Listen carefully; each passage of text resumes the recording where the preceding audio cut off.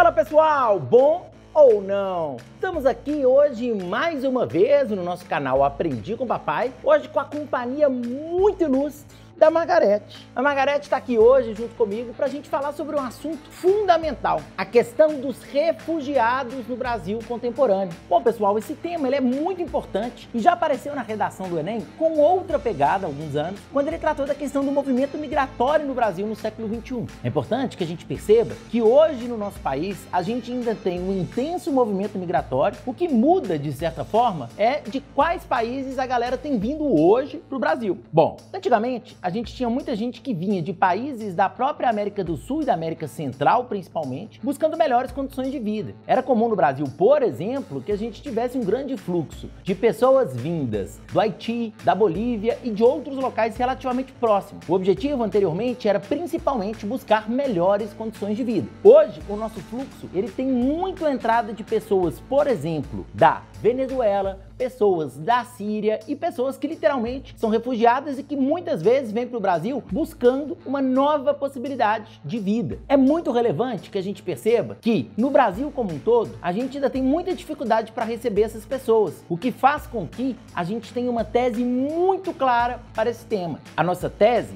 é de que a questão dos refugiados no Brasil é extremamente preocupante. Para defender essa tese, você pode citar algumas das várias situações que esses indivíduos têm passado quando eles chegam aqui no nosso país. Uma delas, é muito comum que essas pessoas tenham dificuldade, por exemplo, de conseguir um lugar para morar, para ter uma sobrevivência minimamente confortável nas grandes cidades brasileiras. Há muitos problemas relacionados também à questão da falta de emprego, que é muito comum. Muitas das vezes as pessoas já tratam de com um pouco de preconceito somente pelo fato de ser pessoas estrangeiras e principalmente os estrangeiros que vêm de países subdesenvolvidos, eles sofrem ainda mais desse grande problema. A gente tem também a possibilidade de vinda de doenças de outros países para o Brasil, porque muitas das vezes esses estrangeiros, eles trazem sim novas doenças junto com os outros problemas causados, né, pela vinda indiscriminada dessas pessoas. E é interessante que a gente perceba que o governo dá muito pouco apoio para esses indivíduos. Consequentemente, a gente discute muito pouco sobre o tema. Essas pessoas sofrem ainda com atos de xenofobia que são muito comuns no nosso país e que, como um todo,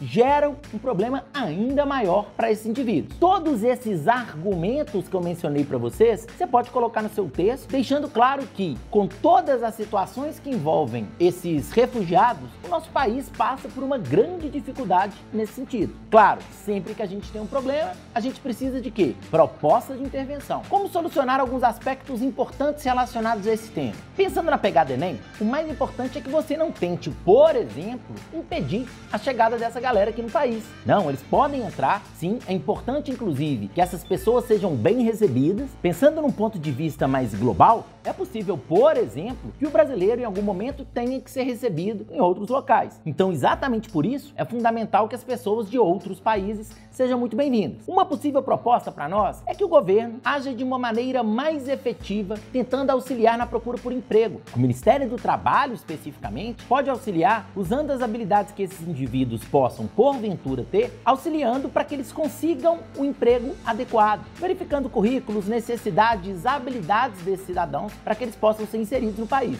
É importante também que o governo federal faça estratégias, campanhas de redução do preconceito em relação a esses indivíduos. É muito importante que o brasileiro perceba, por exemplo, que o indivíduo que está chegando aqui no país não necessariamente é alguém que vai tirar o emprego do brasileiro, mas sim alguém que está buscando trabalho e condições de trabalho de acordo com as habilidades que ele tem e que muitas vezes ele construiu em outro país e em áreas que frequentemente nós temos demanda do Brasil como um todo. Isso é uma coisa também muito relevante. Outra estratégia fundamental para nós é que haja, por exemplo, a tentativa por parte de ONGs, das prefeituras, é, para tentar encaixar essas pessoas em condições básicas de sobrevivência, oferecendo doação de alimentação, oferecendo local para que essas pessoas possam ser inseridas, ser colocadas com o um mínimo de conforto e fazendo com que a situação desses indivíduos melhore no país como um todo. Beleza, pessoal? Para mais temas, dúvidas e sugestões, entre em contato comigo pelos comentários entre em contato comigo pelo meu Instagram, Aprendi com Papai. Não se esqueça de se inscrever no meu canal e a gente vai conversando até o Enem. Beleza, pessoal? Falou, um abraço.